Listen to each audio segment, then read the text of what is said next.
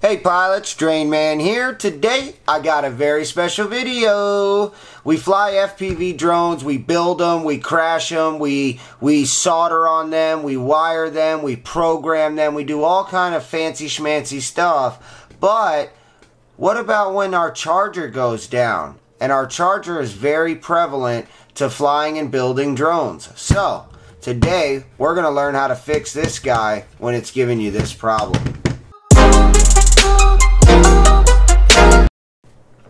Alright pilot, so let me show you what's going on here. We're going to power this guy up. Alright, as you can see, it powers up very nicely. Everything looks good. I'm going to throw a battery in. I'm getting a battery signal here, but that's only because this battery is in storage. Don't worry about that. See? So don't worry about that. Now, I'm going to plug this battery in. Okay, we've got all four cells. Yes, we're in storage, but that's okay. I'm going to click start. And now I'm going to charge LiPo. That's my cell voltage. That's my cell count, which is accurate. And that is how many amps. Alright, I'm going to hit start. And as you can see, this current operation is not supported. So, I have gone through the settings thoroughly. Okay? I also have done the calibration, I've done the self checking. There's nothing wrong software wise with this because that's your first thought because everything looks good. I mean, right? Everything looks great. But my first thought is, well, must be a setting because it's saying the current operation isn't supported. But I'm telling you right now, it's not a setting. Something else is going on. We're going to check it out and we're going to see what the electronics look like. Let's see if the board has power, if uh, everything looks okay. Let's see if there's a short or something on here's got to be burnt or fried or broken or bent or twisted. So, something's up and we're going to find out. Velcro on here, don't worry about that. It's not covering anything in our way, but there are no screws. What I want you to do is get your heat gun. If you have a hot air station, hot air gun if you've got one. If you don't, go get your wife or mom's hair dryer. If you got a battery nearby, get it out of the way. Don't burn nothing.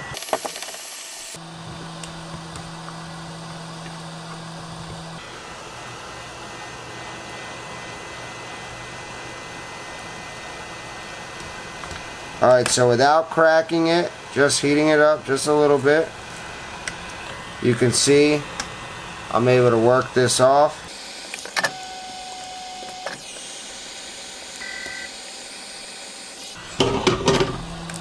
Alright, so there you go, your screen is off. Don't touch that screen.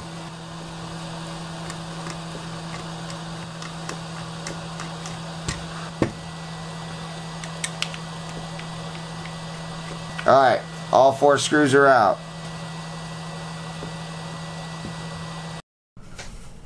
Alright pilots, so you got it apart now. I want you to be careful. There's a lot of electronics here. If you got any static on you, get rid of it. And try not to touch this screen if you can. The ribbon connector. Right there. Come on. There it is. Alright pilots, real quick before we continue on, I want to tell you if you accidentally touch your screen, they have these little cotton deals that are for your face, you know, to clean off your makeup when you're done flying or going out on the town.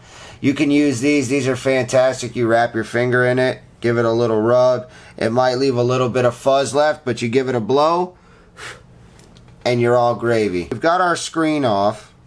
We're going to set that to the side. We're going to have to start testing components and see what we can find. Alright, there's our fan. Got a nice heat sink. Alright, so I'm thinking I'm seeing some action here. Something looks like it might be burnt right here. Maybe a regulator or something. I'm going to go ahead and pull this fan out of the way. Alright pods, so I'm going to get my multimeter and I'm going to go ahead and do some testing. I'll be back in a bit. Two hours later.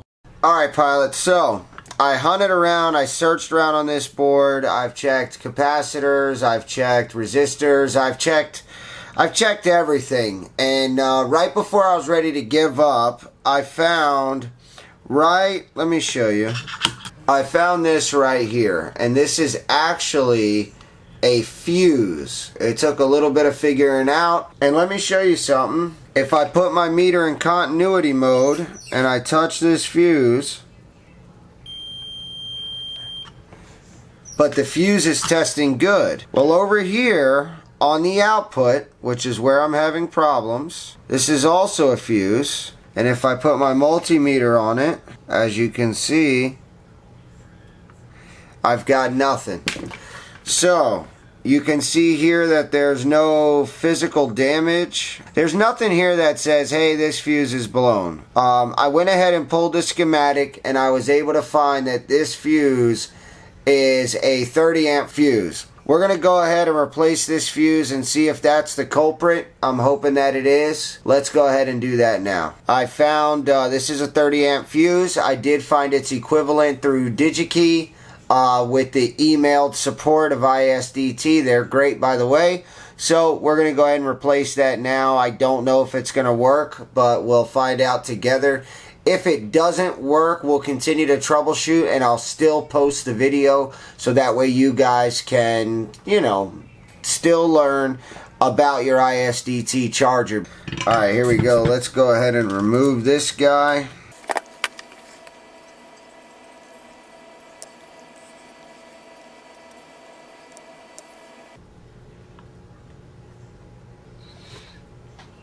Let me show this to you. There it is. Soldered to my tweezers. Next thing we want to do, next thing we want to do is we want to go ahead and clean these pads up.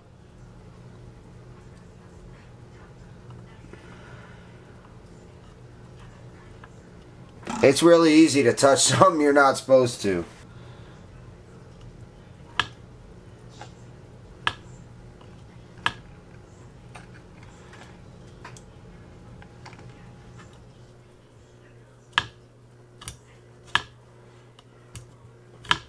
Now let's get in there and tidy up a little bit.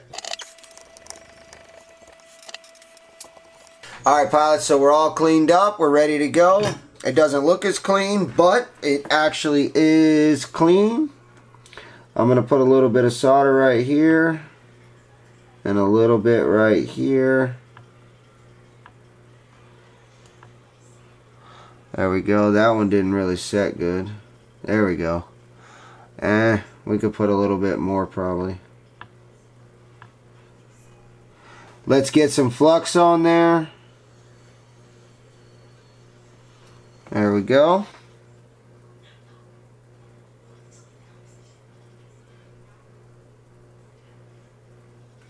Get my fan on.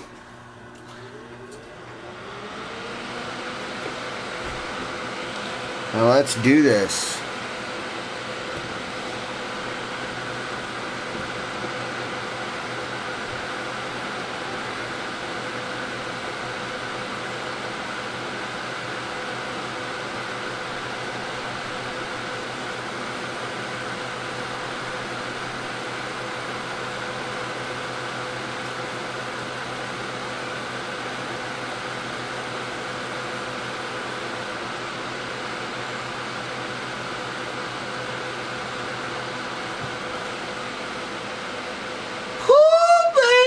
Alright, kill the fan, kill the heat gun, and let's go ahead and take a look. It's looking good.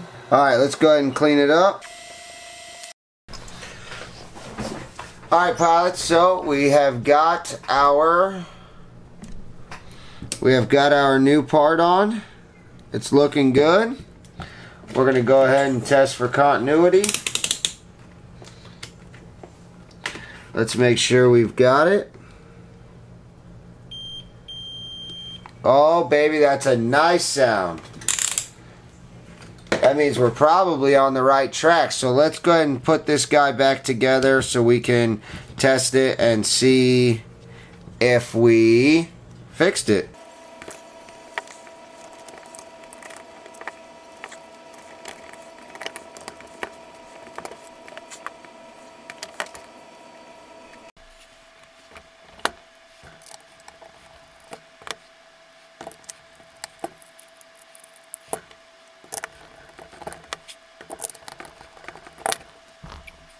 Alright pilots, so now we're ready to put this back on. You can add a little bit of glue or whatever you want to do, hot glue, whatever you want to do to put this back on. Me, I'm not going to because I'm not very rough with mine. Ignore the the scratches. Those are just this cover, which I, I didn't peel off before, but I'll peel it off now. So I'm going to go ahead and stick this here. Hopefully I aligned it well. And then give it a pushy push back on. And then I've got a ton of scratches, so now I can go ahead and take advantage of this time. There we go. Bam. So I know you saw a bunch of scratches, but it's important for you to know they were not on there. That's why I left this on. Alright pilots, now it's time to give her a test. Let's see how we did. We're going to need two batteries. Alright, any two batteries will work. It doesn't matter. Alright, first thing you want to do is go ahead and plug the guy in. Alright, she starts up. That's a good sign. We didn't screw nothing up too bad. We're still getting our low battery, but we already knew that because this battery's in storage. Let's see. I mean, everything looks good thus far. Here's the moment of truth that it don't explode. Okay. It's looking good. Now, before, as you saw in the beginning of the video, when we go to charge, we were getting an error reading. So, hopefully that reading will now be gone. Alright, cell looks good. Everything looks good. Let's see. Oh, that is actually a protection I have on because I use a big battery to charge. I don't want that battery to pass storage. Let's see if this one is low enough.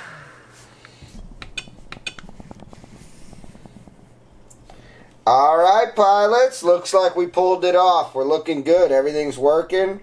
We're reaching up to our full amperage, which is awesome. We're moving milliamp hours over. This is fantastic. This is great news. Alright guys, so um, I do want to show you the part that I used in case you're having the same problem. This is the part that I got. You can get it from DigiKey. I will go ahead and leave this up here just for a second while I talk. That way, if you need to write these numbers down, you can, or do a screenshot or whatever. Wanted to just sum up, so we found a bad fuse. It was a 30 amp fuse. We went ahead and we replaced it, and now our charger's fixed and working. We saved ourselves somewhere around 60 bucks. Can't beat that. I want to thank you guys for tuning in. I hope this video helped you guys, and I'll see you on the next one.